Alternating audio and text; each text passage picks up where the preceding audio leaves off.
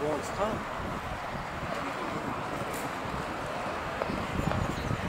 Ça va être très beau, très bien.